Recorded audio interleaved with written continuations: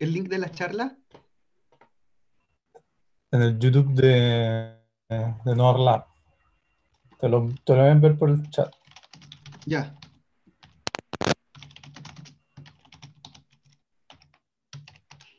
Así yo lo puedo tuitear rápidamente al empezar.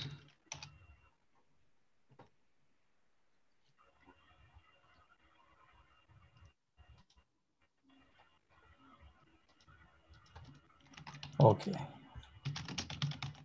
Ok. Hola a todos. Hola a todos. Nos pillaron. Nos pillaron improviso. Bueno, buenas tardes, buenas noches, buenos días. Somos a todos nuestros seguidores aquí en Chile, en Latinoamérica, Norteamérica, Europa, África, Asia, Oceanía, Atlántida también en todo el mundo. ¿Ya? En la edición de hoy de En Vivo desde Lab. Me complace presentar a una de las promesas de la astronomía chilena, a quien muchos los comparan como el José Massa del futuro. Se trata de un astrónomo nacido y criado en esta zona, acá en la cuarta región, que comenzó sus pasos en la ciencia de la mano de otro monstruo de la astronomía, el padre Pichetti, en el seminario conciliar. A ver que más viejito, perdón, quise decir, sin saber que más adelante, su pasión lo llevaría a la ciencia astronómica y también de refilón a codiarse con los famosos del mismo ámbito. Hoy lo tenemos en nuestro en vivo desde Noir Lab. Antes que lo rapten desde los matinales de televisión, lo trajimos para acá. Y también es posible verlo en innumerables videos de la ULS, la Universidad de La Serena, explicando las cosas más complejas de una forma especialmente simple y fácil de comprender. Su talento es tan espectacular que las instituciones se lo pelean para que trabajen ellos. Y es así como actualmente se desempeña, por un lado, como académico de la Universidad de La Serena, pero bajo el convenio de colaboración con la Asociación de Universidades para Investigación en Astronomía, AURA, que opera varios telescopios de NOAR Lab acá en Chile. Allí, en la Universidad de La Serena, Guillermo estudió licenciatura en física con mención en astronomía como tiene muchas dificultades para comunicarse, nuestro, nuestro charlista del día de hoy, como estudiante se destacó mucho en su trabajo de divulgación y como también asistente de investigación en el Observatorio Aura, en Gemini y en Tololo respectivamente. Luego de eso se nos fue a estudiar un magíster y doctorado en la Universidad de Virginia como becario Fulbright Conicet, donde finalmente recibe su grado de doctor en astronomía el año 2016.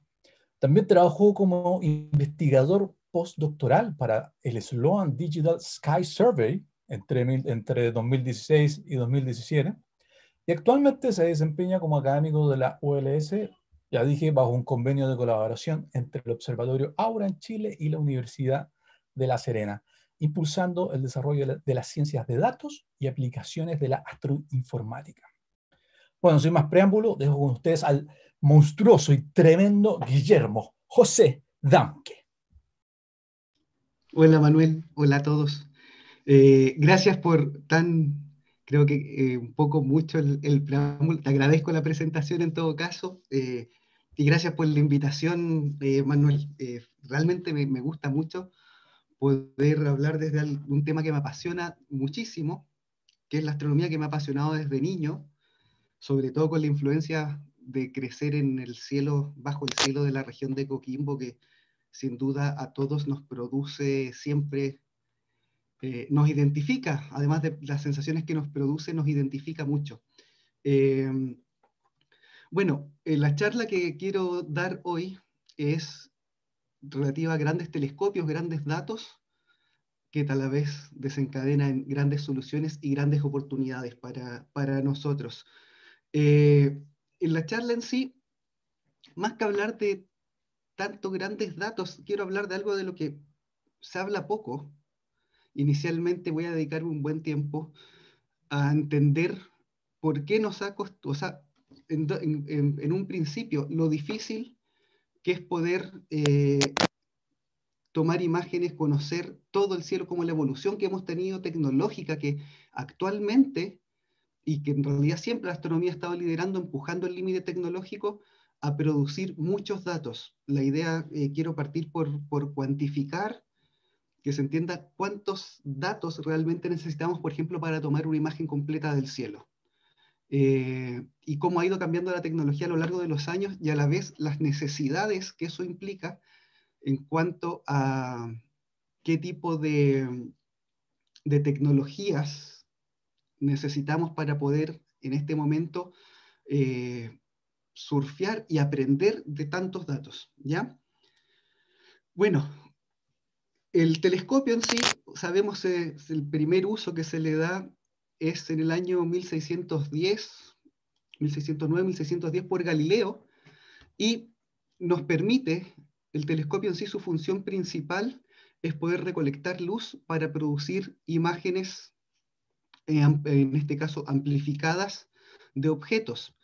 Eh, nosotros tenemos detectores naturales, telescopios naturales, que son nuestros ojos. Los ojos en sí se comportan literalmente como un telescopio, como una cámara digital, como la cámara digital que tenemos en un celular, eh, y funcionan todos de manera muy, muy similar. Principios ópticos es siempre lo mismo, cambia simplemente la escala y la tecnología. Eh, espero que se, se vea el cursor, supongo, encima para ir apuntando. Eh, acá tenemos cómo funciona un telescopio básico, pero el mismo principio de funcionamiento de un telescopio profesional, en que tenemos que el telescopio simplemente captura luz. Imagínense que la luz que viene entrando es como si estuviéramos capturando agua de lluvia. La luz de las estrellas, imagínense, son las gotitas de lluvia. Mientras más gotitas de lluvia recolectamos, más fáciles para nosotros, más aprendemos, más información recolectamos, ¿ya? Eso siempre hay que verlo como la astronomía, una ciencia observacional, por lo tanto lo que necesitamos es poder observar la mayor cantidad, recolectar la mayor cantidad de luz posible en el tiempo. ¿Cómo hacemos eso? Simplemente un telescopio tiene un espejo que vemos aquí abajito. Ese espejo eh, es el que, captura, capta la luz de las estrellas y la refleja concentrándoles, se dan cuenta los rayos que vienen acá entrando paralelos de la estrellita, se empiezan a concentrar, simplemente en este diseño un telescopio típico, este diseño inventado por Newton, eh, tiene un espejito y la luz sale, ahora se dan cuenta, entró la luz por toda esta apertura, un espejo de este diámetro que será en la escala de la persona unos 20 centímetros típicamente, y sale y va al ojo. El ojo, en este caso, sería eh, lo que nosotros llamamos en astronomía el detector el detector que nos permite eh, que la luz se transforme en información que nosotros grabamos con nuestro, en este caso con nuestros ojos. ¿Ya? Si se dan cuenta, acá tenemos un espejo y vamos a tener eh, el detector que es el ojo. En el caso de un telescopio grande, es exactamente lo mismo. Este es el telescopio de Gemini, en este caso el de Gemini Norte, tenemos uno exactamente igual eh, acá en, Cerro Pachón, otro de los telescopios operados por Aura acá, que en este caso, para que se hagan una idea, este espejo sería como la pupila del telescopio, como la pupila de nuestros ojos que capta la luz.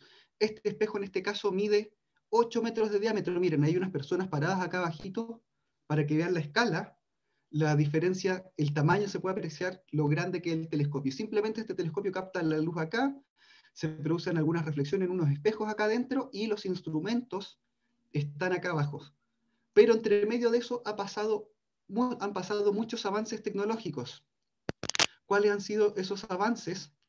Eh, es simplemente pasar de un observador a ojo, que, les puedo, que sería este caso de acá, que es lo que generalmente hacemos con los telescopios pequeños, como se puede ver en poco más de 100 años atrás, esto se hacía a ojo en los observatorios profesionales, es Percival Lowell observando en un telescopio de los más grandes en aquella época eh, y observando a ojo.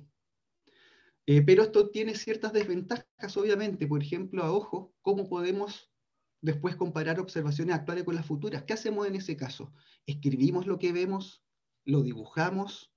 ¿Cómo podemos medir el brillo de estrellas, por ejemplo? Se empieza a hacer un poco difícil. Así que el avance tecnológico, en gran parte impulsado por la astronomía en ese momento, nos llevó a reemplazar el ojo por lo que se llaman las placas fotográficas. Y esto dominó la astronomía por muchas décadas.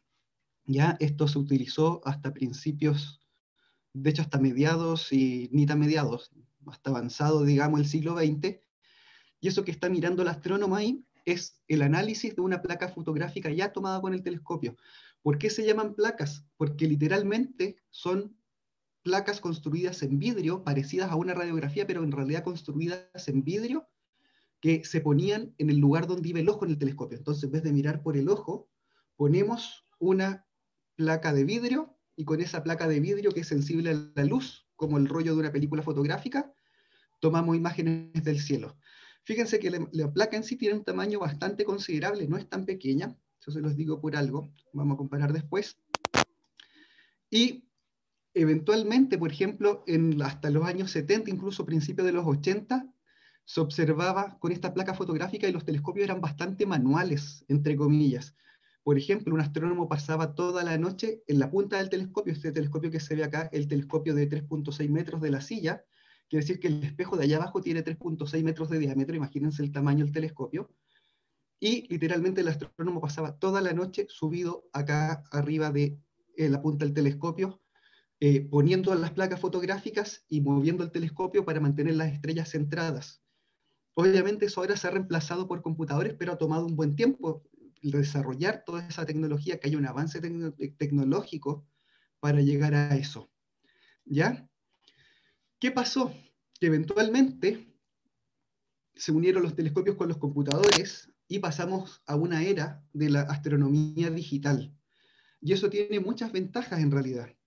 ¿Cómo se logra eso? En gran parte se debe al avance tecnológico de la creación de los semiconductores, los chips que todos tenemos, que actualmente andamos trayendo acá. Todos hemos escuchado que, por ejemplo, acá tenemos más poder computacional en un teléfono que en el, que por ejemplo, en el, en la, en el Apolo 11 que fue a la Luna. En este caso, estos detectores son detectores hechos en silicio, eh, que se llaman detectores CCD, muy similares a los que tienen los teléfonos celulares, pero obviamente más sensibles y menos ruidosos. Y la gracia es que, ¿por qué fueron un cambio tan importante? Porque, primero que todo, son más sensibles que las placas fotográficas. Son mucho más sensibles, más de 10 veces más sensibles.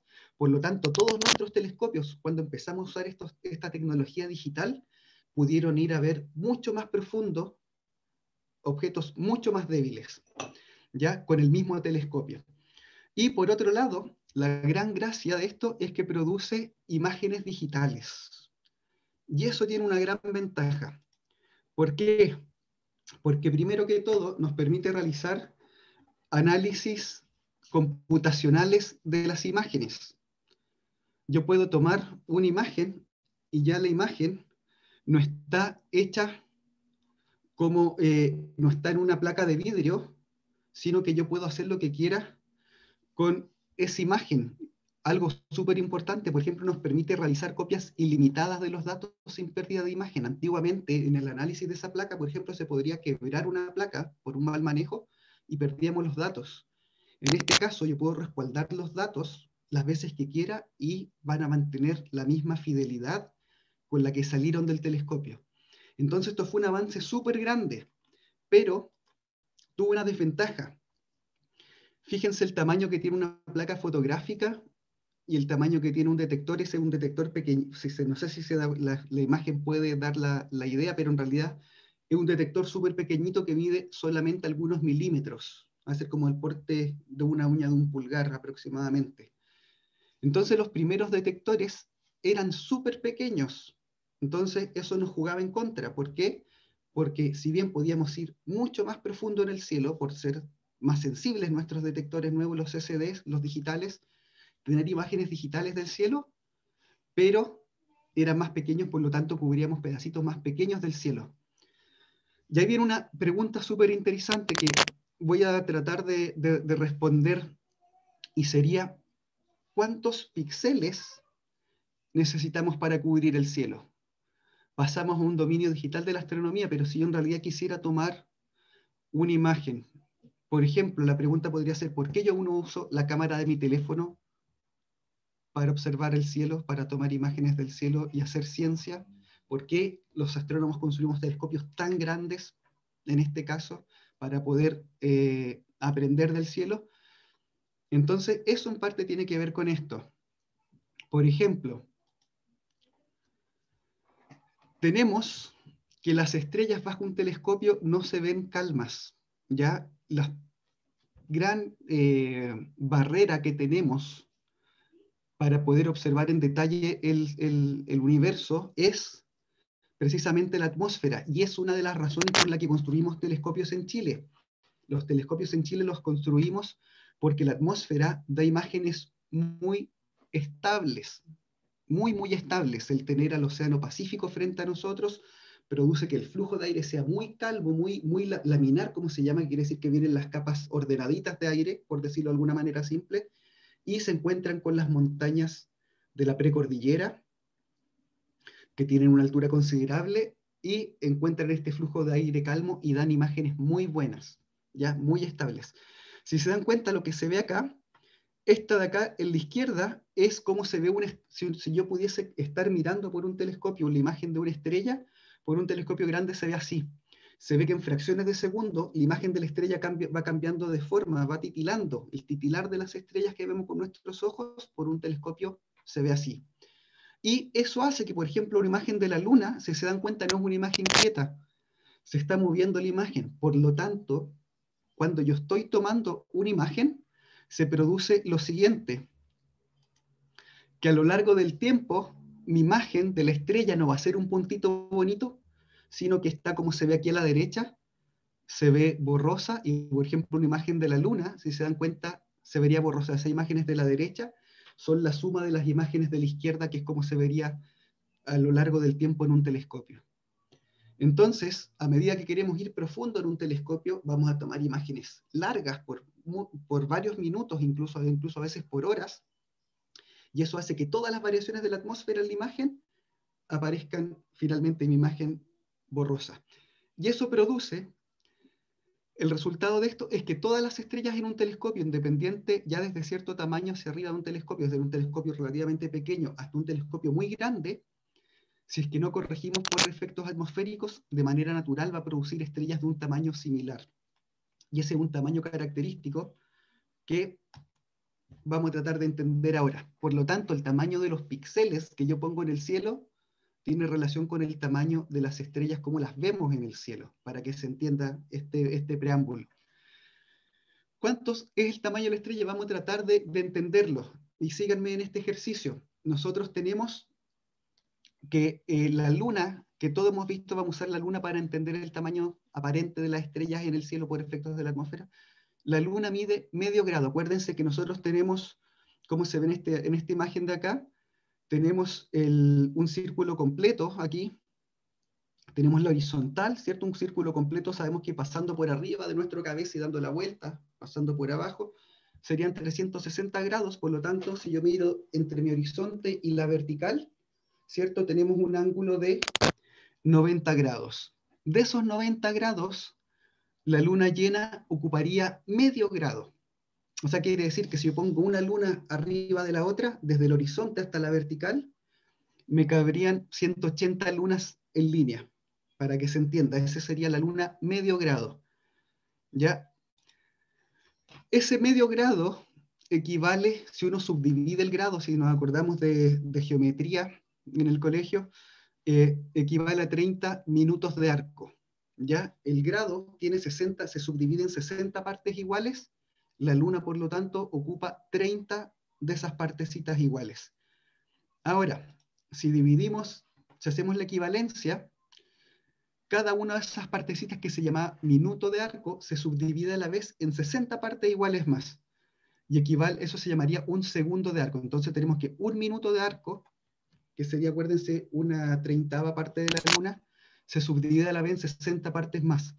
Por lo tanto, para que se hagan una idea de la escala, a lo largo de la Luna tenemos 1800 eh, segundos de arco. Ahí como se muestra esta flechita acá, 1800 segundos de arco. Y el tamaño típico en el cielo de una estrella, por efecto de la turbulencia de la atmósfera, equivale a un segundo de arco. Entonces, la Luna tendría 1800 segundos de arco y el tamaño típico de una estrella sería un segundo de arco.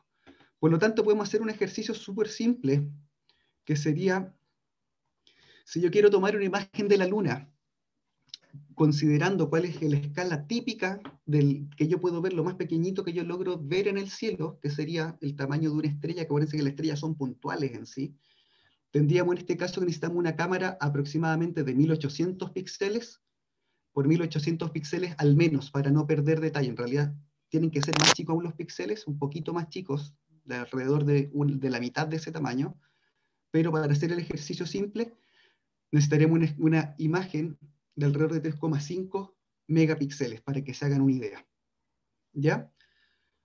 Esas serían las, acuérdense, las imágenes de 3,5 megapíxeles las empezamos a ver aproximadamente hace unos 10 años atrás, 10 a 15 años atrás, veíamos las cámaras digitales, probablemente incluso un pelito más, pero entre 15 y 20 años atrás estábamos viendo esas cámaras recién llegando a nosotros en, cámaras digitales. ¿Ya? Por lo tanto, haciendo este mismo ejercicio para el cielo completo, ¿cuánto necesitaríamos? Considerando que son 3,5 megapíxeles para encerrar a la luna en un cuadradito. Ahí hay una comparación aproximada.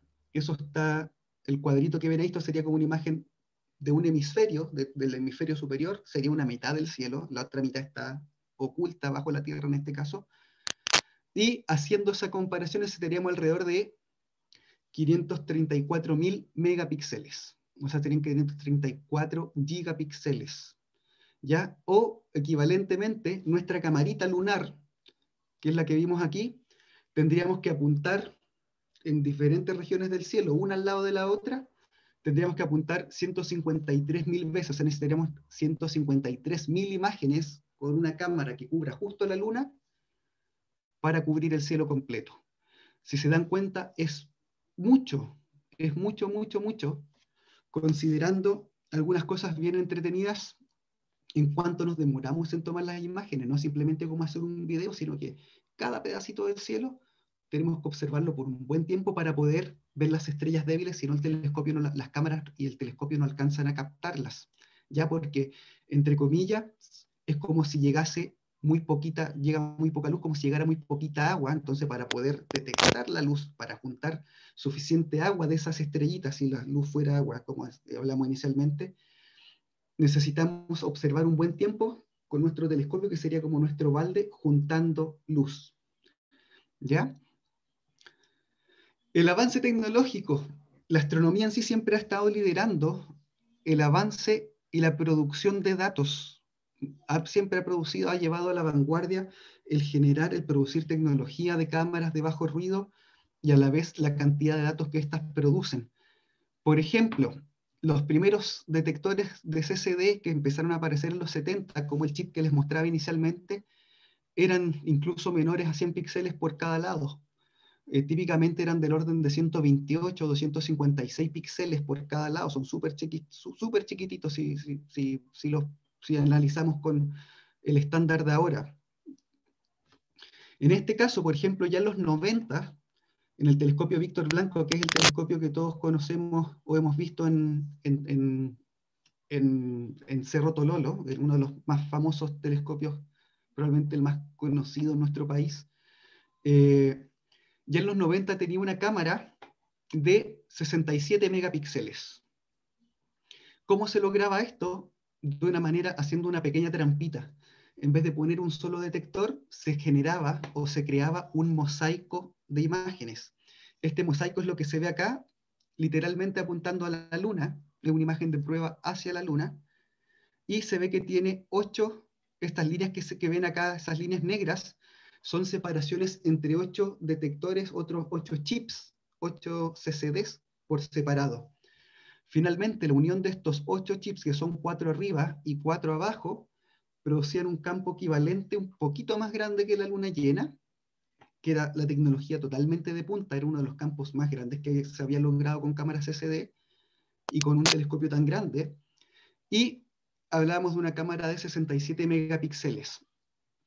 En esos años, imagínense, hace 20 años atrás, ya se estaban produciendo alrededor de 10 gigabytes por noche de observación, yo creo que todos recordamos los computadores que uno, que no todos, sino que algunas personas pueden acceder en la segunda mitad de los 90, hablamos de discos duros de 40, 50, 100, 200 megabytes. Esto producía 50 veces más datos por noche. Entonces siempre hemos estado empujando el límite de datos en astronomía, ¿ya? Sin embargo, vamos a ver que este número, aún así, es muy lento para rastrear todo el cielo. Uno puede decir, wow, qué grande la cámara. No, porque como vimos recién, ¿se acuerdan que para este tipo de, para este tamaño de imagen, necesitábamos aproximadamente 153.000 imágenes para cubrir todo el cielo. Por lo tanto, en ese caso, si hacemos una pequeña cuenta, típicamente uno logra tomar, con estas tecnologías, logra tomar alrededor de 100 imágenes por noche, considerando una noche alrededor entre 10 y 12 horas de observación, y con esas 100 imágenes por noche tardaríamos más de cuatro años en cubrir el cielo completo una sola vez. Entonces se dan cuenta, sigue siendo bastante lento.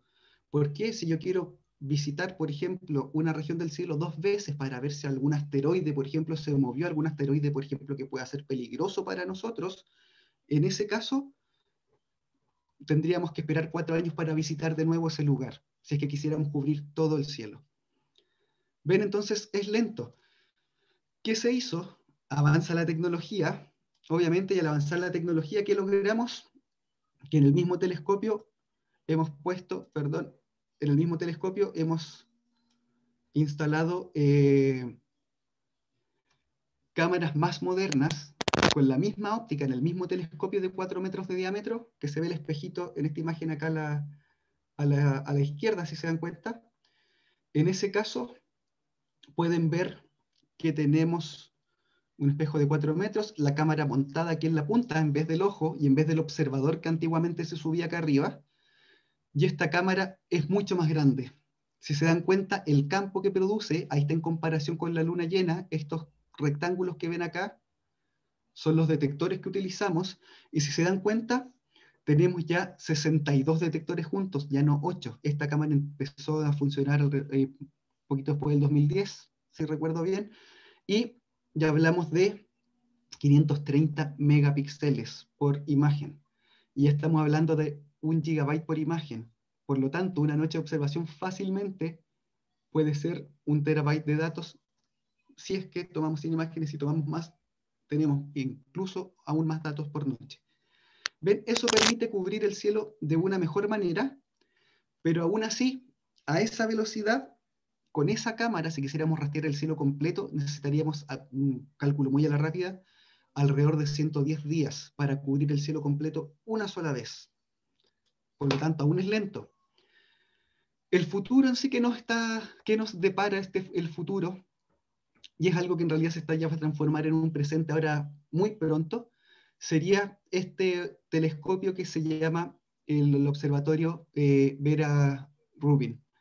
Eh, ya fue una astrónoma muy, muy importante y lamentablemente no le adjudicaron el premio Nobel que lo merecía, pero con creces. Ella descubrió dio muchas pistas de la, materia, de la existencia de la materia oscura con la rotación de galaxias, así que hace pocos meses se decidió bautizar este telescopio, que era antiguamente conocido como el LSST, se le, eh, se le bautizó con el nombre de, de, Vera, de la doctora Vera Rubin.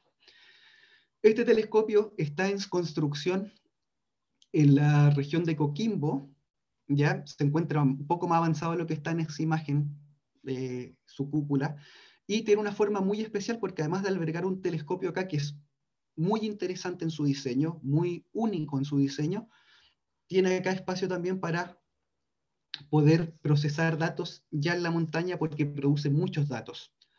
Eh, ¿Qué gracia tiene este telescopio? Este telescopio tiene una de sus gracias, es que está diseñado para rastrear el cielo muy rápido. ¿Qué tan rápido? Vamos a ir viendo. De hecho, de partida es más, es más grande. Es más grande que los telescopios, eh, por ejemplo, el que veíamos recién, el telescopio blanco 4 metros. Este telescopio tiene un espejo que se, se vería en esta imagen computacional acá abajo, de 8.4 metros de diámetro. Pueden ver ahí una persona a escala. Y tiene una óptica muy especial también que da un campo muy grande. Pero, como les mostraba antes, al tener campos grandes también para poder tener la información suficiente, la, información que realmente muestre eh, en detalle el cielo sin perder información, necesitamos también tener muchos píxeles para cubrir el cielo. Por lo tanto, esto eh, se, le, se, está, se, se diseñó y se está construyendo una enorme cámara digital, ¿ya? Es la cámara digital más grande jamás construida. Esta cámara que ven ahí, ahí se ve la forma de la, silueta de, una mujer adulta, eh, para que uno se haga la idea de la escala. Esa cámara va montada dentro, acá dentro del, telescopio, en esta zona de acá adentro.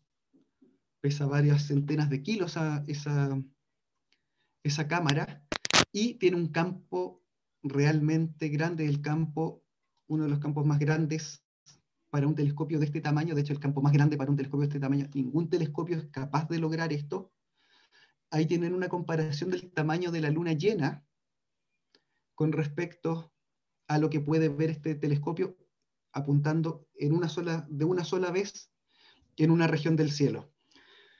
Si se dan cuenta, la luna llena ya se ve ocupando solamente una fracción de este campo, ¿Cómo se logra eso? Cada cuadradito representa un detector, un chip de un detector CCD que apunta al cielo. Ya, por lo tanto, para cubrir todo este campo, si ustedes contaran los cuadraditos, son 189 detectores funcionando al unísono de 16 megapíxeles cada uno, que va a generar una imagen de 3200 megapíxeles es realmente un número muy grande, son 3,2 gigapíxeles. Si vamos a lo práctico, nuestros teléfonos tienen cámaras típicamente entre 10 y probablemente 10, 20 megapíxeles. Este telescopio tiene 3200 megapíxeles en su cámara. Y obviamente una cantidad tan grande de, de, una imagen tan grande también produce muchos datos, va a producir 15 gigabytes por imagen que tomemos, ¿ya? Se dan cuenta, es un número muy alto para los estándares de, que uno usa. Imagínense un disco duro de un computador en unas pocas decenas de imágenes, nuestros computadores comunes se nos llenaría el disco. Y lo interesante es que el telescopio en sí también está diseñado para moverse muy rápido y para poder observar los cambios, eh, de los cambios rápidos que ocurren en el cielo y es para eso va a observar, va a tomar una imagen cada 15 segundos. Entonces, si se dan cuenta, antiguamente, hace unos 20 años atrás, incluso ahora, estábamos tomando alrededor de 100 imágenes por noche, o tal vez un poco más, pero en el orden de 100, 200 imágenes por noche. Este número es mucho más grande considerando que estamos tomando 240 imágenes por hora.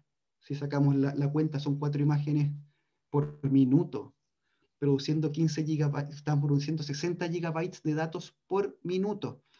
Sobre eso, sacamos la cuenta del orden de 15 terabytes por noche. Yo creo que ninguno de nosotros tiene un disco de 15 terabytes en la casa actualmente. Probablemente de 1 2, o 2 terabytes es lo típico. Y a esta velocidad somos capaces de cubrir el cielo de la región de Coquimbo aproximadamente cada 3 a 4 días. Realmente esta es una empresa humana muy importante, muy eh, potente, porque literalmente algo que nunca hemos hecho antes. Esto nos permite conocer el dominio del, del cielo, pero además, por mucho tiempo, durante 10 años vamos a estar haciendo esto. Entonces lo que esperamos es lograr aprender muchas cosas que nos, no conocemos simplemente porque no fuimos capaces de estar mirando la dirección correcta espero que con toda esta parte de la, presentación se haya logrado entender que los telescopios en sí, los telescopios profesionales para producir imágenes realmente detalladas, la tecnología nos limitaba simplemente a observar pedacitos pequeños del cielo y no podíamos cubrir partes grandes del cielo simplemente porque no, está, no teníamos el desarrollo tecnológico. Y eso es lo que literalmente la inversión en ciencias es lo que busca, es empujar el límite de la tecnología a la que después tenemos acceso todos nosotros, pero lo que estamos buscando es empujar los límites de la tecnología. Imagínense la cantidad de datos que se van a producir a, una razón de 15 terabytes por noche durante 10 años que va a durar este relevamiento. Entonces la idea es que si observamos el cielo, volvemos, hay diferentes formas de organizar la estrategia de observación, pero si en promedio estamos observando una parte del cielo cada tres días, es muy probable que veamos algo que nunca antes hayamos visto. Van a, aparecer millones y millones de alertas, alrededor de 10 millones de alertas de objetos que están haciendo, fluctuando en su brillo por noche. Y ahí vienen los grandes desafíos. ¿Por qué? Porque vamos a producir tantos datos, pero yo no solo necesito almacenar datos. Yo puedo tener capacidad de almacenar muchos datos, pero si no sé analizarlos no me sirve de nada. Puedo almacenar toda la base de datos del LSST, pero si no tengo, lo tengo guardado literalmente en discos duros y no sé qué hacer con esos datos, si no tengo las herramientas para analizar esos datos, esto no me sirve de nada. Por lo tanto, todo el desarrollo tecnológico de, este, este, telescopio, del, observatorio de Vera Rubin, si va de la mano, si se dan cuenta de desarrollar ópticas para producir un telescopio de un campo tan grande y siendo un telescopio tan grande por sí. electrónica para producir cámaras digitales tan grandes y también el desarrollo computacional para poder manejar tantos datos tan rápido, pero al mismo tiempo herramientas también software y algoritmos que nos permitan indagar esos datos de manera rápida. Y ahí en ese caso es cuando aparecen las eh, aplicaciones de lo que se llama Big Data y de ciencias de datos, Data Science. ¿ya? Eh, la idea de esto es poder, como les decía, indagar en esta base de datos muy rápido, es tomar la imagen, de hecho, ni siquiera la base de datos, eso más adelante, tomar la imagen, ser capaz de medir todas las estrellas y objetos que hayan en esa, en esa imagen, clasificarlas y al mismo tiempo, lo antes posible, cuando encontramos objetos que, por ejemplo, cambiaron en su brillo, poder mandar, emitir una alerta de que ese objeto cambió.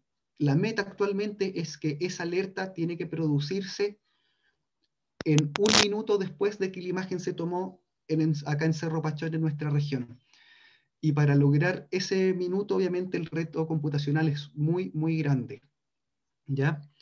Eh, sobre esto, obviamente, eh, no somos capaces de analizar todas estas imágenes los astrónomos a ojo, como se hacía antiguamente, como les mostraba en la imagen original del astrónomo de Percival Lowell mirando por un ocular con el ojito, sino que usamos herramientas computacionales. Por ejemplo, ciertas técnicas que, estamos, que se desarrollan dentro de muchas otras, estos son simplemente uno de los ámbitos de trabajo, es por ejemplo clasificar objetos de manera automática.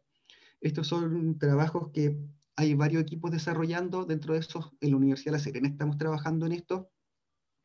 Por ejemplo, estas técnicas de visión computacional implican que cuando hay una galaxia, que es este objeto de acá, estamos entrenando un computador cosa que pueda ser capaz de encontrar ese objeto, aunque eso es posible realizar hace harto tiempo, pero al mismo tiempo ser capaz de decirnos qué píxeles pertenecen a ese objeto y decirnos qué forma y a qué tipo de objeto pertenece eso.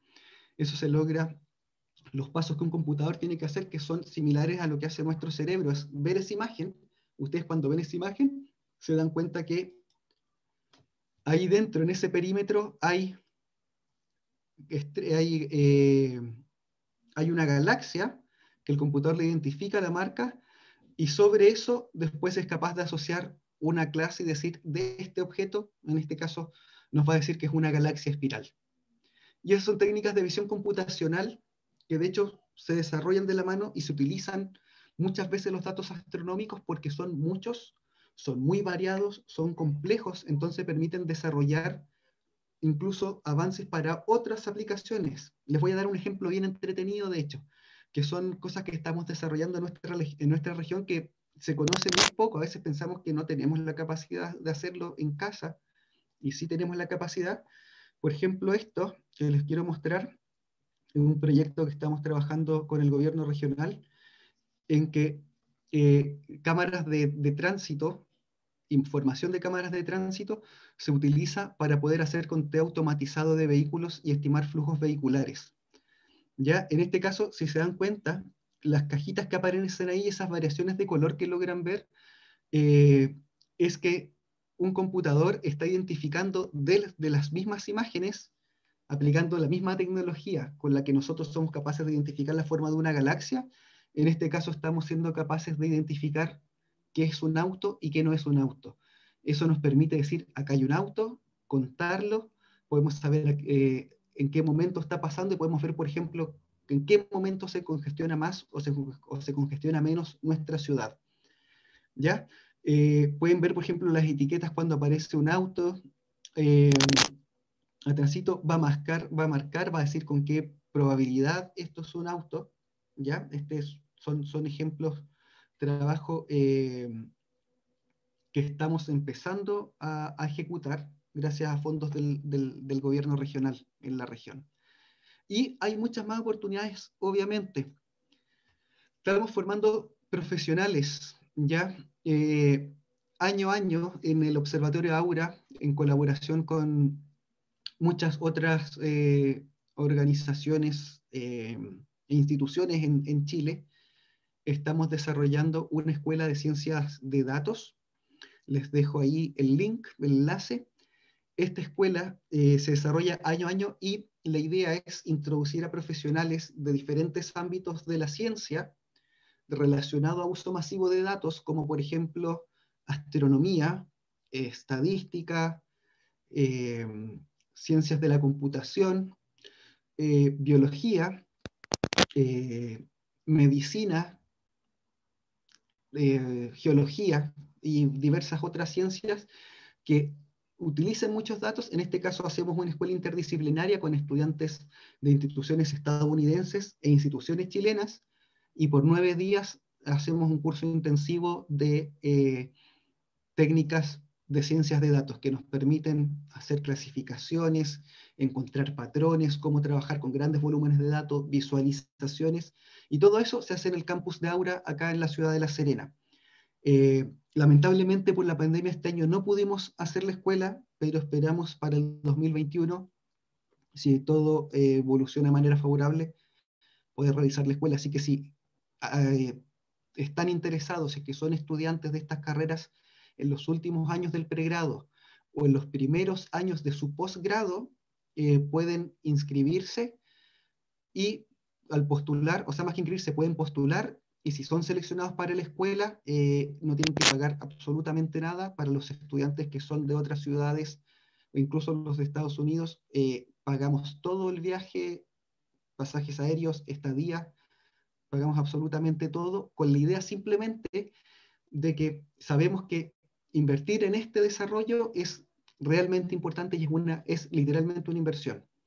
Ya desarrollar eh, capacidades en nuestros profesionales que nos permitan literalmente navegar de manera confiable por todo el tsunami de datos que estamos produciendo por todos lados en este, en este momento, ya en muchas disciplinas. Y voy a ir cerrando para dar paso a las preguntas, si es que Manuel nos deja. Eh, algo súper importante, todos estos desarrollos eh, de mano de los telescopios y el tener los telescopios en Chile se debe a la calidad natural de los cielos, pero actualmente la calidad natural de todos los sitios astronómicos del país están siendo amenazados por la contaminación lumínica. ¿Qué es la contaminación lumínica? Es simplemente el, el, el, efecto, el brillo artificial del cielo por la sobreiluminación y la mala iluminación de las ciudades. Por ejemplo, miren esta imagen desde el Cerro Grande, claramente pueden identificar varios puntos, miren, estadios, canchas de fútbol, se dan cuenta, que hay más canchas de fútbol, estacionamientos, supermercados, incluso a veces algunas casas, locales comerciales, todo eso produce que el brillo del cielo en los observatorios aumente introduciendo ruido en nuestras imágenes. ¿ya? También, obviamente, estamos enfrentando el problema de las constelaciones de satélites que también pasan por el cielo y arruinan nuestras imágenes, pero nosotros localmente tenemos un trabajo súper grande y los quiero invitar a cuidar nuestro patrimonio, no solamente por un fin astronómico, es por el fin eh, biológico, una gran fracción de aves, por ejemplo, migran de noche, utilizan estrellas para migrar, necesitan cielos oscuros, insectos tienen ciclos reproductivos basados en día y noche, por lo tanto también hay, incluso nosotros, la producción de melatonina depende de la cantidad de luz que hay afuera, y nosotros inhibimos la, la producción de melatonina por la contaminación lumínica, así que no solo por la astronomía, sino que es por factores biológicos y también por nuestra salud, que los invito al cuidado del cielo, que la única diferencia de si uno es capaz de alumbrar correctamente, alumbrar hacia abajo, lo que vamos a lograr es, como muestra esta comparación acá, ver la diferencia entre un cielo contaminado, es una comparación de dos imágenes en un lugar con mucha contaminación lumínica, ah, ni siquiera tanto en realidad porque sea un poco de Vía Láctea, entre con la luz artificial y una, una oportunidad, una ventana oscura en, por un corte de luz. Entonces, obviamente a nuestros telescopios, se nos, a los telescopios, a los astrónomos se nos dificulta observar con contaminación lumínica porque es literalmente ruido que cubre la señal de las estrellas. Y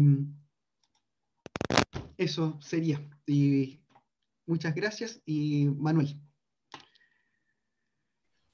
Y muchas gracias. Ah, te mereces un fuerte aplauso. Sí, gracias. un fuerte aplauso para Guille. Oye, tenemos varias preguntas, varios comentarios de nuestro de nuestros espectadores. Hay una pregunta que hace Francisco Salinas, que la hizo hace, hace, rato, yo ya, y ya lo tenía marcado aquí. Dice, Simus versus CCD. Actualmente, ¿cuál es el mejor en términos de señal de ruido, velocidad de descarga y sensibilidad? Y Francisco, eh, gracias por la pregunta. Actualmente, lo que yo tengo entendido, bueno, los para, para dar contexto a la gente que, no sé, porque esa pregunta es, de hecho ya es más avanzada, hay que reconocer. Eh, los, son dos tipos de detectores que funcionan de manera similar, pero tienen diferencia en cómo, en cómo descargan, por decirlo de alguna manera simple, en cómo lleva la información desde el detector hasta el momento en que llega al computador. Eh, los, los CIMOS, para que sepan ustedes, son prácticamente todos los sensores que ustedes tienen en sus cámaras de teléfono actualmente, usan esa tecnología. Tienen la gracia en que se, son capaces de leerse muy rápido, descargar los, rápido, los datos que produce el sensor en, a lo largo de la imagen muy rápido, por lo tanto son muy útiles para video generalmente. Eh, en astronomía usamos los CCD porque siguen siendo de ruido más bajo, si bien necesitan tiempos de lectura que son más lentos, producen menor ruido. Nosotros contra lo que más batallamos, y por eso también el, último eh, comentario de la contaminación lumínica, es contra el ruido que se produce en las imágenes. El ruido, para que se entienda la imagen, es como cuando uno prendía las telas antiguas y se veían las, las hormiguitas, como decíamos de manera coloquial. Eso sería ruido. Ese ruido nos impide ver eh, las señales débiles, por lo tanto seguimos usando CCDs es interesante lo que vaya a pasar en el futuro porque actualmente eh, no somos muchos los usuarios de SSD, solamente los astrónomos prácticamente nos están usando mucho más, tal vez en aplicaciones militares también, pero hay un gran desarrollo de estos sensores por, precisamente por este tipo de aparatos y por las cámaras digitales.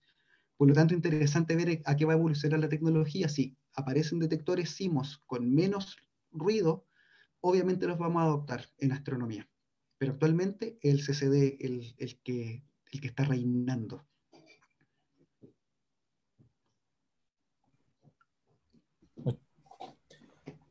Muchas gracias, Guille. Tenemos otra pregunta también de Israel Leonardo. Pregunta, ¿cuál es la densidad de píxeles de dichas cámaras, de la cámara del telescopio? Densidad de píxeles, los píxeles, a ver si es que supongo que al decir la densidad a estar refiriéndose a cantidad de píxeles por área. Eh, generalmente los píxeles tienden a tener tamaños aproximadamente entre unos 15 y 30 micrones. Son píxeles bastante grandes, pero eso tiene una explicación bien, eh, bien directa.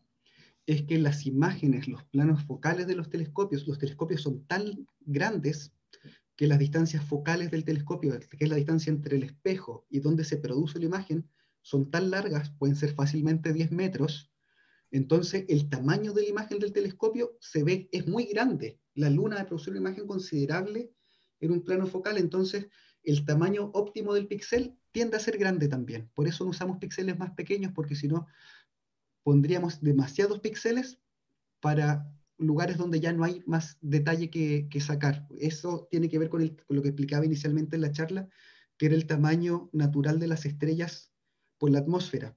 Eh, por lo tanto, es el tamaño del píxel y además lo óptimo de tener píxeles más grandes, si es que eres aficionado a la fotografía, por el tipo de pregunta, imagino que sí, es que píxeles más grandes también producen menos ruido electrónico al momento de leerse.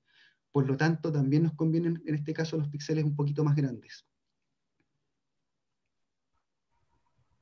Gracias, Guille. acá Pedro Ojeda, saludos para Pedrito. Un gran... Dice, ¿qué influencia óptica podría tener el Starlink en la astronomía? Pedro, es una muy buena pregunta. Eh, bueno, el Starlink, para hacer la, para los que no lo, no lo conocen, eh, es una de las empresas que está haciendo eh, constelaciones de satélites para proveer eh, redes 5G, pero ya no basada en antenas, sino que literalmente usando satélites. Y esto hace constelaciones de satélites, quiere decir que vamos a cubrir la Tierra con decenas de miles de satélites, eh, que estamos fácilmente duplicando, triplicando el número actual de satélites por lo bajo, y tienden a ser relativamente brillantes el problema que tenemos con, estos satélites es que si son muy brillantes, sigue siendo tema de debate que tan brillantes se van a ver, en, por ejemplo, en el mismo eh, telescopio observatorio eh, Vera Rubin o en otros observatorios, ya eh, los vemos que tienden a ser bastante brillantes. Y el problema que tenemos, Pedro, es que cuando pasa un satélite, yo no lo puedo, si es que produce mucha, un ruido muy grande, una señal muy grande, nos arruina la imagen.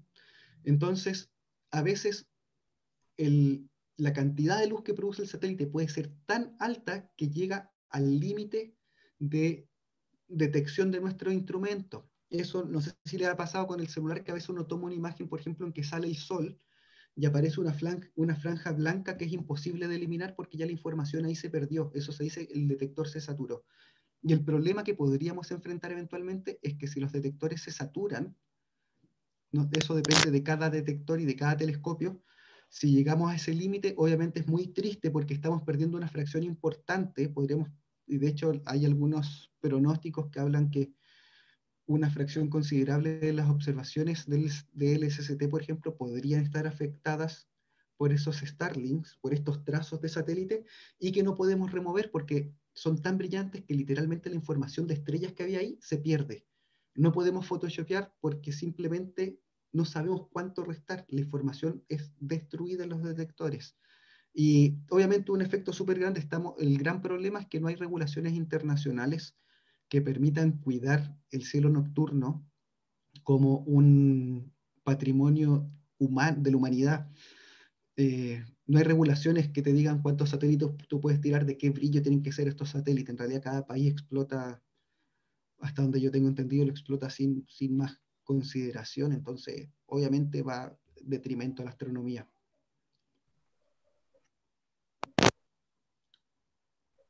Gracias, Guille.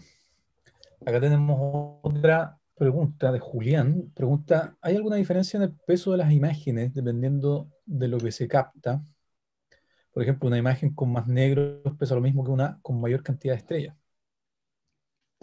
Es buena pregunta esa. Y la respuesta es que eh, en imágenes en bruta no.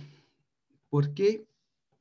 Porque las imágenes brutas, uno, como nosotros, que, el, objetivo final de las imágenes astronómicas, a diferencia, por ejemplo, de una imagen de que nosotros tomamos con un teléfono, o con una cámara en casa, es que queremos medir con la mayor precisión posible el brillo de los objetos y también la posición de los objetos que están en esa imagen. Pueden haber varias aplicaciones científicas, entonces por eso algunos se interesan en el brillo, otro en el tamaño, otro en la posición, pero en ese caso necesitamos preservar el valor tal cual salió del, telescopio de cada píxel. Por lo tanto, los tamaños de las imágenes tienden a ser generalmente, por ejemplo, 16 eh, bits por píxel, eh, en formato entero, de hecho, si es que te interesa saber eso. Por lo tanto, cada píxel tiene un tamaño fijo que va a ocupar en, en disco, en almacenamiento en este caso.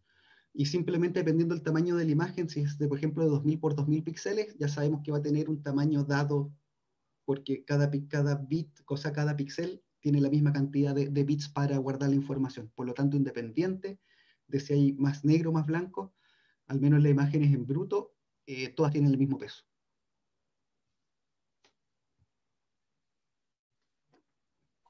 Genial, gracias Guille. Cristian Góez, de Colombia, nos pregunta, ¿cuál es el tiempo de exposición para que el registro de una galaxia, ah, para el registro de una galaxia distante con las CCD que utilizan? Ya, esa pregunta depende mucho de, depende de varios factores. Primero, depende de qué telescopio usamos. Eh, yo puedo tener exactamente el mismo detector, el mismo CCD, pero lo puedo poner en un telescopio de un metro o en un telescopio de 8 metros, y el de 8 metros, si uno calcula la superficie eh, colectora del telescopio, si nos acordamos, por ejemplo, del, del caso de, de la lluvia que explicábamos inicialmente, las gotitas de lluvia que sería la luz de la galaxia cayendo, en un telescopio de 8 metros, la superficie es 64 eh, veces más grande que la de un metro. Por lo tanto, capta 64 veces más luz que un telescopio de un metro, aunque pongamos el mismo detector. Entonces, las galaxias distantes eh, va a depender obviamente de qué tan distante queramos ir, pero puede ser del orden de algunos minutos. Podemos empezar a ver galaxias, a veces en imágenes incluso más cortas vemos galaxias, pero ya las más distantes podemos estar decenas de minutos mirando, puede ser necesario mirar por algunas horas, incluso queremos ir muy, muy distante. También depende de la sensibilidad del telescopio, de qué filtro estemos observando, si estamos observando más hacia la región azul del espectro, más hacia la región roja del espectro, si estamos en el infrarrojo. Entonces, depende de, varias, eh, de varios factores, ¿ya? Pero yo creo que eso te da una idea, que hablamos para ir profundo en un telescopio grande, podemos hablar a lo mejor de algunas, del orden de algunos decenas de minutos hacia arriba. Acá Alejandro Gutiérrez pregunta, hola Guillermo, sería bueno si puedes hablar un poco de los espejos deformables. Muy buena la presentación, dice. Por supuesto, Alejandro. Eh, sí, mira, la idea de los espejos deformables son tecnologías eh, muy, muy eh, entretenidas que nacen como una forma de poder contrarrestar la deformación de la atmósfera, ¿ya? La, perturbación que produce la atmósfera. Yo había mostrado por ahí una, una imagen que a ver, podríamos tratar de, volver rápido. Eh, que esta, esta, imagen mostraba lo turbulento que es la atmósfera y cómo, hace, cómo nos, nos, hace variar una estrella que está de acá. Eso es lo que uno ve en el telescopio. Entonces, los espejos deformables son tecnologías que están a muy alta velocidad, están viendo cómo, hacia dónde se nos está moviendo la estrella cómo se está deformando la imagen de la estrella. En este momento, imagínense, yo estoy mirando ahí cómo se, si ven la presentación, cómo se nos mueve la estrella para los, para los costados. Y en, y en ese caso, eh, al moverse la imagen, lo que hacemos es poner un espejo que mide cómo, o sea, ponemos primero un sensor. Ese sensor mide cómo se está deformando la estrella de su forma ideal y por lo tanto ponemos un espejo que es eh, un espejo que se deforma, que es, entre comillas, plástico, por decir que se puede cambiar de forma rápidamente, y eso contrarresta la deformación que tiene la estrella. El objetivo es producir las imágenes de mayor calidad como si no estuviera la atmósfera, casi como si estuviéramos mirando desde el espacio y llevar el telescopio a un límite que se llama el límite de difracción, que es el límite físico que tiene cada telescopio. Ya mientras más grande el, el telescopio, más grande su diámetro, teóricamente más puntuales las estrellas, más chiquititas las estrellas que produciría. ya pues capaz de separar objetos que están más cerca entre sí, un telescopio más grande va a ser capaz de separar esos dos objetos en una imagen. Un telescopio más pequeño llega a un punto, físicamente pasa esto, de hecho uno lo ve, se hace un experimento de ir poniéndole una máscara a un telescopio y achicando el tamaño, no se distingue los dos y se empieza a ver como un solo manchón de luz, por decirlo. Y el objeto deformable, claro, trata de evitar este efecto atmosférico por correcciones muy rápidas, ¿ya? Y eso sería lo que se conoce como óptica adaptativa. Por otro lado, hay espejos, los espejos actuales de los telescopios también son deformables, pero en otro sentido, que es lo que conocemos como óptica activa, que espejos, yo creo que el, de los más entretenidos que uno ve es el espejo del telescopio Gemini, que es un espejo súper delgado para su tamaño, mide 8 metros de diámetro y si recuerdo bien mide 20 centímetros de alto, de ancho. Por lo tanto, el espejo en sí es muy delgadito, eso hace que el espejo, por la fuerza de gravedad del telescopio, cuando el telescopio apunta, el telescopio se mueve y el espejo acá abajo se va a deformar, va a cambiar su forma por su propio peso, por ejemplo, o por temperatura, por varias cosas. Y en este caso podemos deformar el espejo, lo empujamos, lo tiramos en, diversos puntos, en cientos de puntos abajo, y eso también permite que deformemos el espejo para darle su forma óptima. Entonces, en esos dos sentidos podríamos hablar de espejos deformables, tecnologías muy entretenidas, pero el problema que tenemos al menos para la óptica adaptativa que funciona corrigiendo la, turbulencia atmosférica muy, muy rápido, del orden de centenas de veces por, segundo fácilmente. El problema es que funciona en campos de visión muy pequeñitos, como por ejemplo pasa con Gemini.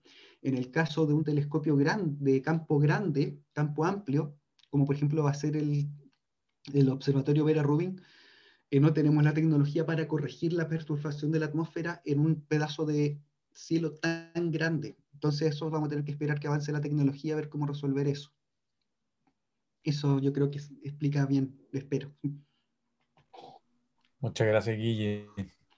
Tenemos, tenemos otra pregunta. Faisal pregunta, una vez que el software detecta una variación, la alerta dentro de un minuto va para que otro telescopio eh, supongo que dice la alerta dentro de un minuto o la alerta...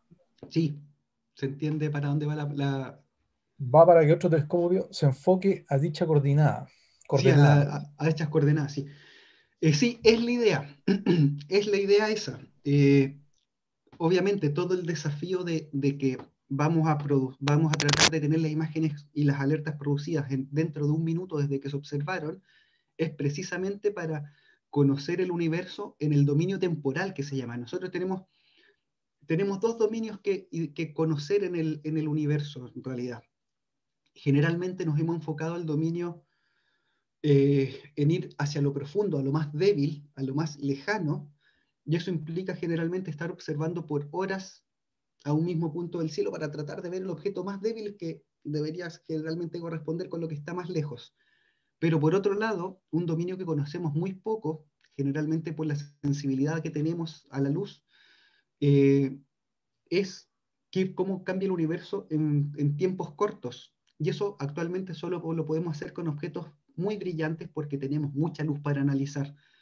Pero hay muchos fenómenos que probablemente no conocemos y la idea de fondo de esto, como tú intuyes, es que apenas tenemos una alerta de algo raro que está pasando, puedan otros telescopios ser apuntados en esa dirección.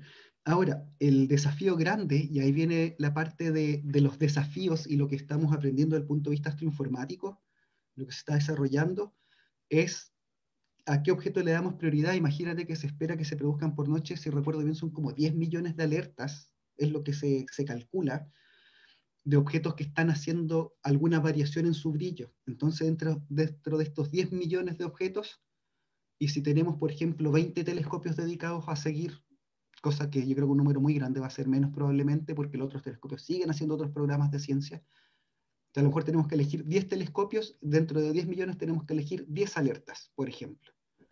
¿A cuáles les damos prioridad? No vamos a tener personas mirando 10 millones de alertas posibles, es irrealizable.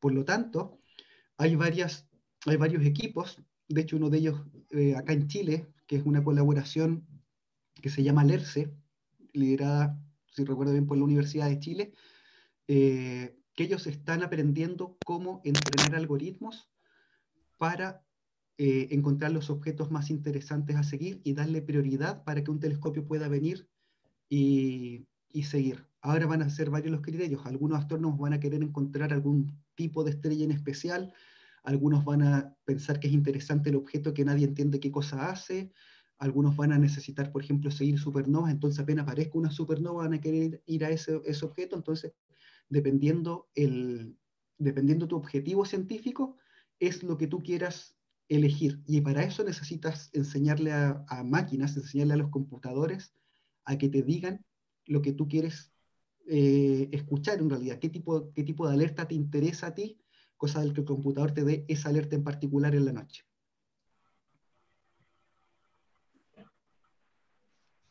Ok, Guille. Millón de gracias. Eh, bueno, tenemos aquí un Rodolfo Cardemil, dice una excelente charla con palabras muy sencillas, bien explicadas, me gustó mucho. Te felicito con seguridad, acercaste la astronomía a todos nosotros. Un abrazo y muchas felicitaciones. Un abrazo, Rodolfo. Muchas gracias. Unos comentarios de Diana Verdugo sobre el lanzamiento de SpaceX. Después del lanzamiento de SpaceX, difícil que puedan parar. Ah, seguramente hablando de Starlink. Eh, Julián Ferreira dice, hay programas para jóvenes que les gustaría estudiar astronomía. Soy estudiante de tercero medio, me interesa mucho, sobre todo aprovechando el tiempo de cuarentena. ¿Qué le recomendarías tú, a este chico que está en tercero medio? A ver, depende, hay varias cosas. Primero, eh, o sea, siendo muy honesto, lo que más recomendaría es en el colegio generar la mejor base en matemática y en física, en ciencias posible. La astronomía en sí es pura matemática, es física, de hecho todos los astrónomos al final tengamos un título de astrónomo o astrofísico, todos los astrónomos hacemos astrofísica, que es entender por medio de, la, matemáticas y de física lo que está pasando en el, en el universo. Entonces, en cualquier programa de astronomía vas a tener que aprender mucha física, y para aprender mucha física vas a tener que aprender mucha matemática. Y por otro lado también herramientas computacionales. Eh, antes era en parte como que en parte era el lado, el lado oculto de la astronomía, es decir, el lado B, eso ya es muy antiguo probablemente, eh, pero el lado oculto de la astronomía es la, la, programación. Se utiliza mucha programación, ya sea para, para manipular datos, o también se utiliza mucha programación para los colegas que trabajan en simulaciones. Se realizan muchas simulaciones de hecho ellos también llevan los computadores al límite en hacer simulaciones, por ejemplo, de cómo evoluciona el universo, cómo se comportan las estrellas, cómo explotan las supernovas.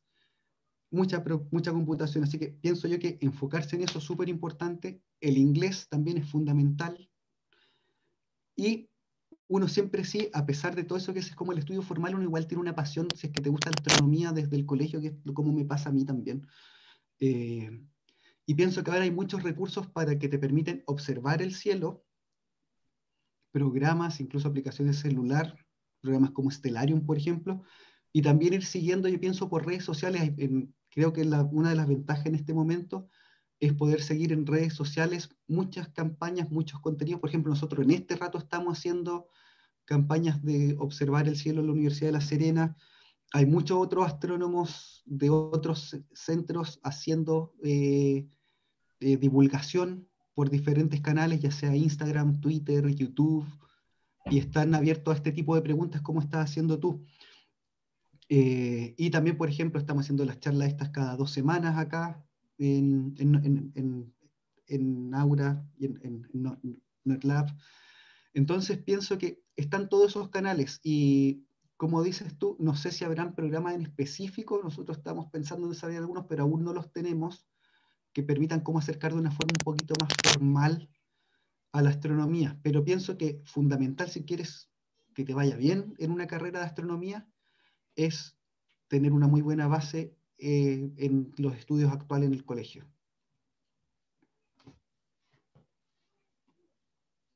Oye, acá en el chat eh, se armó una conversación, una pequeña conversación, y algunos chicos la Piera, por ejemplo, le está, y Gonzalo le están recomendando a Julián Python.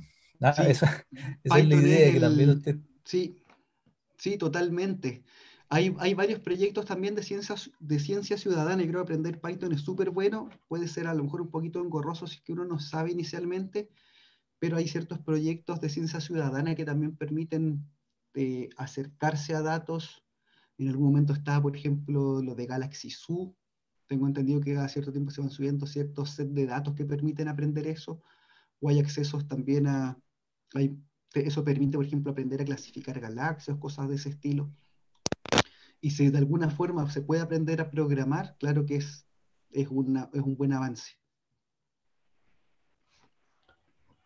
Y acá tenemos otra pregunta. Dayana Verdugo pregunta, un mal zinc, entre paréntesis, turbulencia atmosférica, depende de la época del año? Buena pregunta eso. Eh, sí, o sea, depende obviamente de, patrones que tenga el, clima. Eh, por ejemplo, yo recuerdo eh, que es posible ver las variaciones de un peor zinc, por ejemplo, cuando se acerca el fenómeno del niño, en los observatorios en Chile empeora la calidad del cielo porque la atmósfera es más turbulenta. Eh, depende desde dónde vienen los vientos, por ejemplo, dependiendo ya incluso en las mismas montañas, si es que el viento viene de una dirección o de otra dirección, puede influir en el zinc en un telescopio. Entonces, tiende a influir la época del año, ¿sí? Eh, pero sobre todo también estos cambios grandes que tenemos, ciclos largos eh, meteorológicos, también influyen. Eh, entonces sí, va ligado a eso.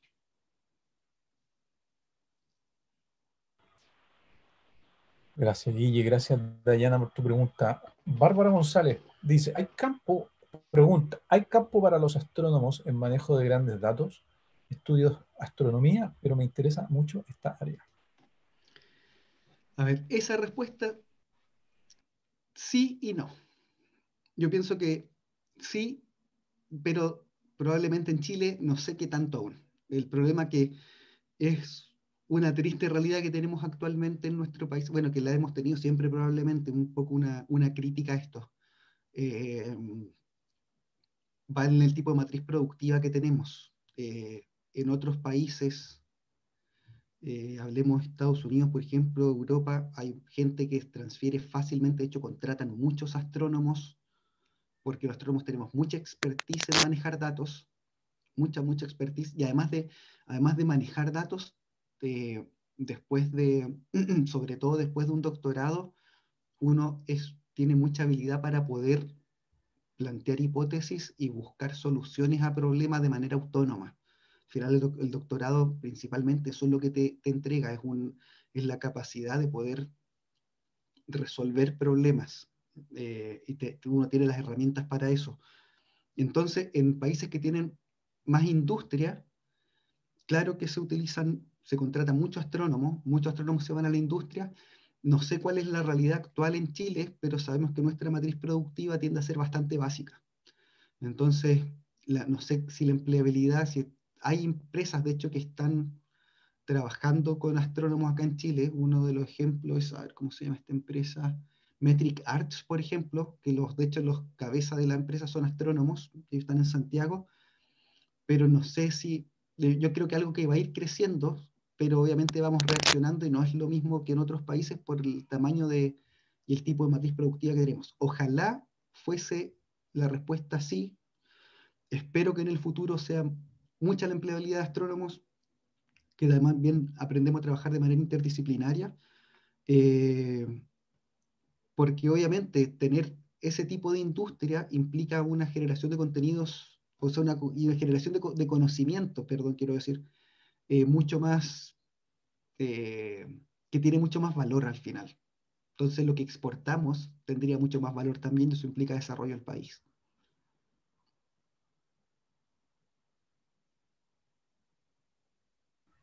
Gracias, Guille. Tenemos otra pregunta acá. Alejandro Fichetti ¿Qué observatorios se pueden visitar en Chile? ¿Cuál recomendarías visitar? ¿O cuáles recomendarías visitar?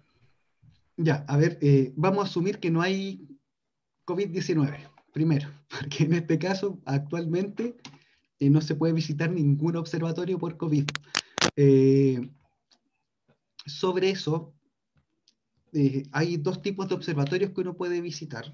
Tengo entendido, todos los observatorios están abiertos a tours, pero tienes que diferenciar entre observatorios profesionales, por un lado, y por otro lado los observatorios turísticos, ¿ya? Observatorios profesionales, partimos de norte a sur, puedes visitar, eh, tengo entendido, se puede visitar Alma, no sé si con mucha facilidad, pero sí hay visitas, probablemente tu mano sabes mejor que yo, hay visitas a Paranal, mano, tú sabes Alma, he visto gente que visita. Sí, hay visitas a, a Paranal, Alma, en Alma un poquito más limitado por el, tema de la altura. Y siguiendo hacia el sur, sí, y siguiendo hacia el sur también pues, se puede visitar el Observatorio de las Campanas, La Silla, en, en Aura se puede visitar Tololo, se puede visitar eh, en Cerro Pachón Géminis, se puede visitar. Eh, entonces prácticamente están abiertos los observatorios a visitas. Eh, cualquiera de esos va a ser experiencia obviamente alucinante. Todos están en ubicaciones hermosas, increíbles. Son verdaderas catedrales hechas en lo más alto posible para alcanzar las estrellas, catedrales del conocimiento. Me gusta a mí verlos así siempre en los observatorios. Muy es increíble ver cómo el esfuerzo humano llega a lugares tan remotos con el simplemente impulsados por el ansia de, conocimiento. Entonces, todos esos observatorios profesionales que son realmente increíbles máquinas se pueden visitar solamente de día. Ya durante la noche el acceso es restringido porque de partida se está en trabajo, eh, en trabajo de observación, entonces cualquier desplazamiento de vehículos o cosas es súper complicado. Y por otro lado, el tema de seguridad es súper, súper complicado. Estamos hablando montañas de 2.200 metros hacia arriba y de noche es muy probable que la gente tuviera accidentes, de hecho ya de día ocurre. Y por otro lado, en respuesta a esa, a esa imposibilidad de poder visitar observatorios de noche, nacen los observatorios turísticos, que ahí la gracia está en que uno puede ir y poner su ojo en el ocular, en el telescopio y mirar a ojo. Hay muchos observatorios, yo de los que conozco en la cuarta región, no, no, no te recomendaría ninguno, en particular porque todos van a tener servicios muy similares de permitirte eh, contratar un tour, ya sea con locomoción propia o ellos te llevan. Eh, tenemos observatorio en la comuna de Vicuña, en Andacoyo, Río Hurtado, en la comuna también de eh, que yo sepa, en la cuarta región al menos. Eh, no sé si en Liguera verán actualmente, pero hay muchas opciones, ya sean municipales o privados, y eso es lo que yo recomendaría de, noche. Generalmente hay gente que hace una visita en un observatorio profesional de día, por ejemplo, visitan Tololo de día, por decir, y después de noche visitan un observatorio turístico para poder mirar.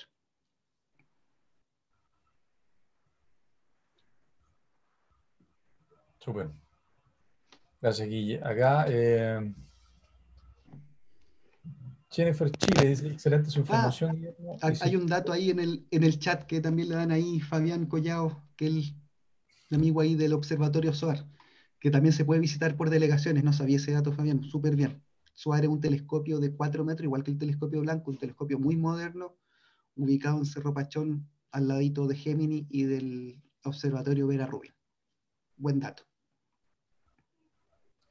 Y acá Simón Torres dice, Salamanca también tiene un observatorio, un observatorio turístico. Eh, Quebra de Talca también tiene un, observatorio que es del Seminario Conciliar, Colegio de Guille. Exacto. Ah.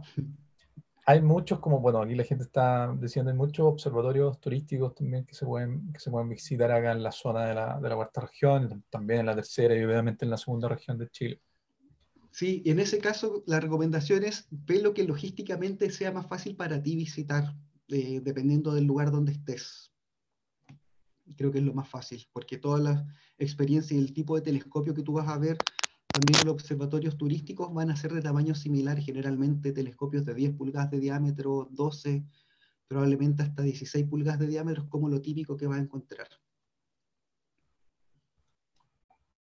Así es. Ahí sigue Alejandro, quedó súper respondiendo pregunta y dice muchísimas gracias Alejandro en el chat.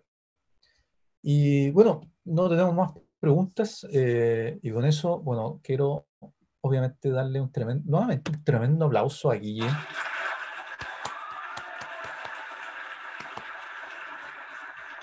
Un enorme aplauso. Gracias por tu, por tu gentileza, Guille, de estar esta tarde con nosotros. Eh, gracias por compartir tu amor por la astronomía. ¿ah? Y, bueno, esperamos tenerte en, una próxima oportunidad hablando de esto o de otros temas mucho, mucho más complejos, más interesantes eh, en el futuro. Feliz, muchas gracias por la invitación y obviamente quedo, como siempre, disponible para cualquier actividad que queramos impulsar desde el observatorio. Así que me avisan. Ok, chicos. gracias a la gente también por su tiempo y por, por la audiencia. Ahí, muchas gracias por, por, obviamente implica que un interés por el tema y espero que haya sido un, momento para aprender de una manera eh, simple. Así que gracias también. Gracias, Guille. Bueno, por mi parte me despido. Chicos, cuídense mucho. Eh, si, si, pueden, manténganse en la casa, no salgan si, pueden quedarse en la casa. Eh, cuídense mucho y será hasta eh, dos semanas más cuando nos encontremos aquí nuevamente en un en vivo desde Noir Lab. Chao, chao.